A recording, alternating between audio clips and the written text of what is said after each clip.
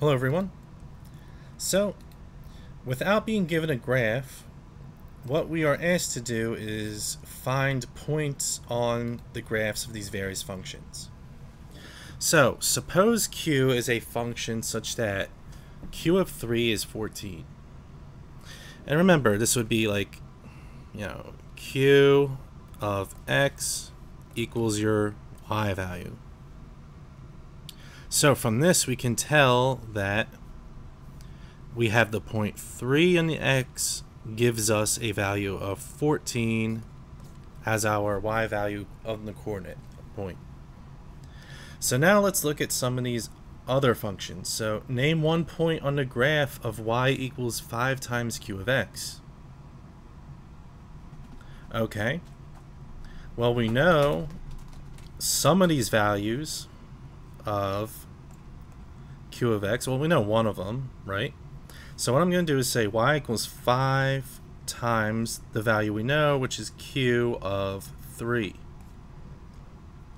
q of 3, we have already figured out is 14. And then 5 times 14 is 70, 50, and 20.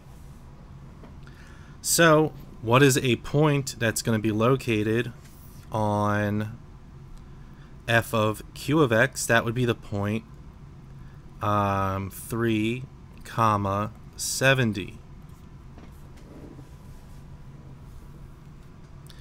Alright, now let's look at part B. Part B states to name one point on the graph of y equals q of x plus 5. Sure. So, I'll do this part in blue. We have y equals, and we know to one point, q of 3 plus 5. q of 3 being 14 plus our 5 gives us the 19. So, our point is going to be 3 comma 19 all right. For the next one we have y equals q of x plus 5 now what this is really asking us is that we want the appropriate um, x value so that we will return to this q of 3. Now what do I mean by that? Well, let's consider, um,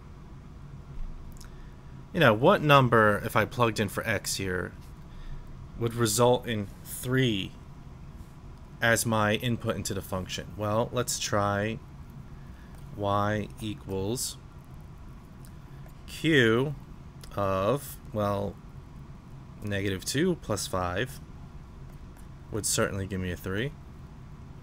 Now this would be my x value, negative 2.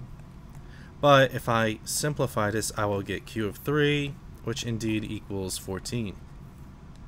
So my point that I'm going to be using is this negative 2, comma, 14.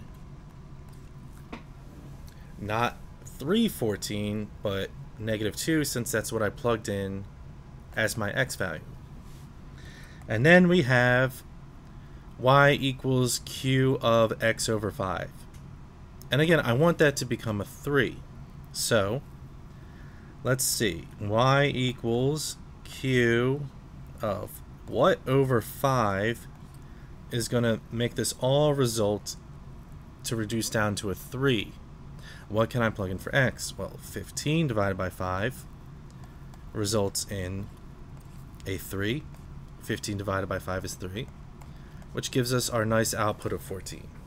So, lastly, my point is uh, we plugged in a 15 and we got our 14 as the output. And that is it to this problem.